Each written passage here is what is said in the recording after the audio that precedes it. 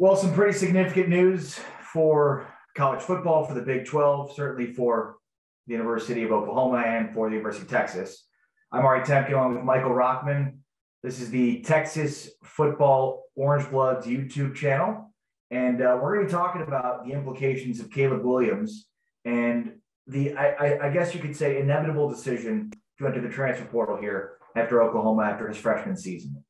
Um, so before we get into it and discuss where he could land, what Oklahoma could do at quarterback, and what this truly means for Texas, make sure to uh, give this video a thumbs up. And uh, if you're really feeling frisky, subscribe to the channel, and uh, that way you're notified when we when you when we post a new video. So, all right, uh, let's start with just the the basic part of this. It's pretty crazy, Rochman, to think about where Oklahoma was in August and where Oklahoma football is today.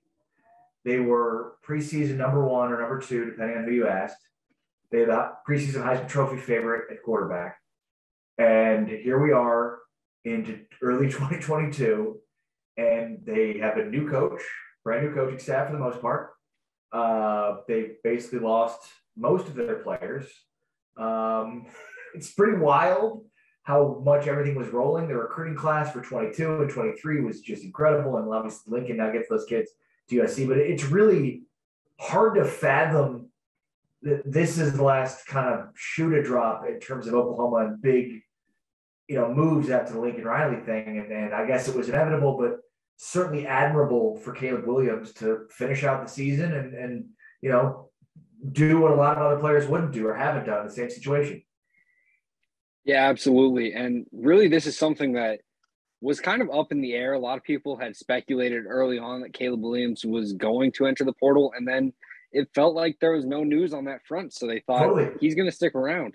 And now, you know, he's entered the portal, and Oklahoma is really kind of left scrambling, in my opinion, for what they're going to do for the future because oh, they Venables are isn't here to position just... right now. And that, actually, so that's where I want to leave you next. So Rochman, you definitely specialize in the portal, the transfer portal. It's a, a, big piece of what you're doing here at Orangebloods.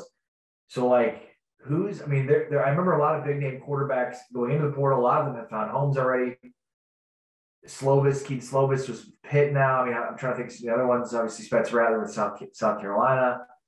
But I mean, who are you a believer in the kid from Incarnate Word, uh, Cameron Ward?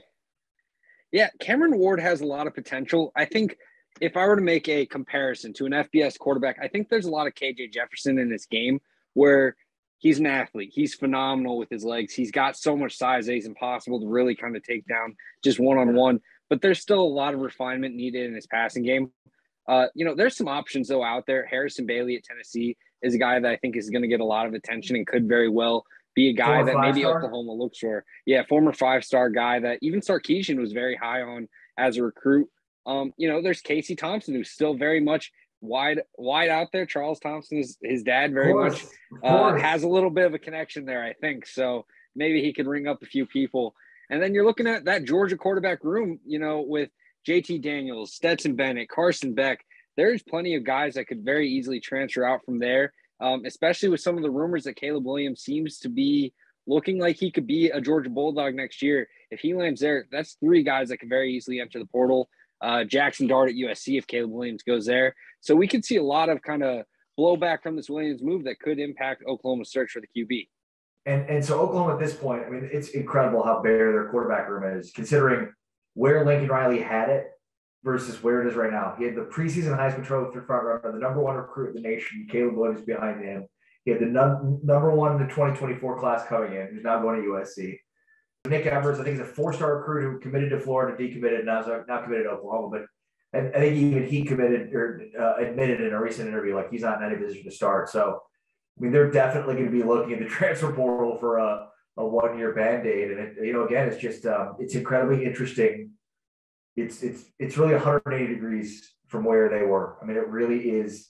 You think about where Texas was in relation to Oklahoma with what Lincoln Riley had, the trajectory of the program and everything else. And man, it just, I mean, it just came crashing down and quickly. I mean, it, it's really incredible. This obviously has major implications for Texas. And look, he still, he still could very well come back. It just doesn't seem likely. Um, I mean, and obviously the most likely situation here is everybody thinks he's going to go to USC, right? Yeah, I think the two schools that have been rumored the most is USC Trojans back with Lincoln Riley and the Georgia Bulldogs. And really, I've heard Bulldogs are kind of the leader on that forefront just because of the fact that they have the SEC talent, they have the contending ability, and really, you know, obviously Stetson has done the job, but I think there is a kind of agreed upon sense that they need a QB to kind of take them over the top. This championship could obviously I, change I some things, hate, but I would hate to see Caleb Williams with Kirby Smart. I would hate to because he Kirby doesn't want to throw the ball on the field like like Caleb Williams does. He takes way too. He's not just letting you throw throw up, you know, go routes. just throw them up yeah. there. but I mean, look, you know, we saw it with the playoff.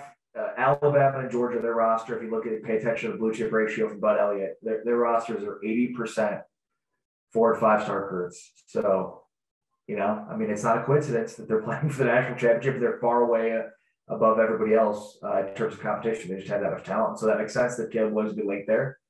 Um, would you want like the people want him to go to USC? Would, would that be would, would people be happier with him going elsewhere and not following Lincoln, or what's the take? What do you what's what's the feeling there? I think a lot of people have kind of it, it's very split. I think Oklahoma fans would hate to see yeah. Caleb Williams head over to USC because they just feel like Lincoln Riley's kind of stolen everything. But I think for a lot of college football, they want to see Lincoln Riley kind of get going because his offense is one of the most fun in college football. And when he has his guys in place, then that's when you can really see it at its highest productivity. And Caleb Williams is obviously going to bring that. Obviously, as a true freshman, he had his flaws, he had his issues to overcome, but he was still very exciting. And I think with another year in Lincoln Riley's system, he could absolutely flourish. Yeah, I mean, he put together career highlight tape against Texas. You know, I mean, you're right. I mean, once defensive coordinators had a little bit of film on him, they adjusted, and but you expect that as a true freshman. The way that he played this year was was phenomenal considering the circumstances. And I, you know, Lincoln's not one to trust a lot of quarterbacks, especially true freshmen. You know, he I think it takes a lot for him to trust a quarterback enough to go to him. The fact that he went to him especially given the circumstances surrounding Rattler and all of the stuff going on there. And he, you know, he's yelling at fans who are booing or calling for Caleb Williams in the season stuff like that. You know, like I, I think that speaks to his ability and his his potential. And you know, I have a ton of respect for him. I mean, I I, I staying in Oklahoma, leaving going elsewhere, leave, you know, leaving right away. What you, you do whatever's in your best self interest, but you got to have a lot of respect for a guy that didn't automatically leave and just just just leave like a lot of other players did, um, and to stick it out and then to finish the season and finish it strong the way that he did, play as well as he did in the Alamo Bowl. Um, you know, I mean that it's hard not to have a lot of respect for him uh, moving forward. And, and the other thing too, Rochman is like there was a bunch of guys that entered the portal or talked about entering the portal in the immediate aftermath of Lincoln leaving. Some of those guys pulled back, including Caleb, obviously. I wonder what you know the, the if, if this is the, the death knell to some of those other guys making their decisions here, and this is basically Oklahoma and Brent Venable starting from scratch. Yeah, absolutely. Uh, there's already rumors of Mario Williams having cleared out his dorm room from some people that live in the same dorm area, and then there's talks of Marvin Mims still entering the portal as well. So this offense could really kind of be completely flushed in talent and restarting and the portal, right? area. Yeah, he committed to Arkansas already. Right. Stogner left to South Carolina as well. So there are plenty of pieces that are yeah. not going to be returning for the Sooners this year. Theo Wease, is he still there? Is he the portal probably? He's in the portal, but I, I believe he has talked about recommitting to Oklahoma. I'm not sure if anything's official come out, and maybe this could kind of sway him back to looking at his options. But there's plenty of pieces, at least floating around, that could very well end up elsewhere for next season. All right, that's Michael Rochman. I'm Ari Temkin. Uh, you can catch the great work here at uh, Orangebloods by subscribing to the channel and uh, check out SiriusXM Big 12 Radio from 7 to 10 a.m. Central uh, on Channel 375 or on ESPN Radio as well, where you can uh, check out what I do. But for now, we're out. Peace. Peace.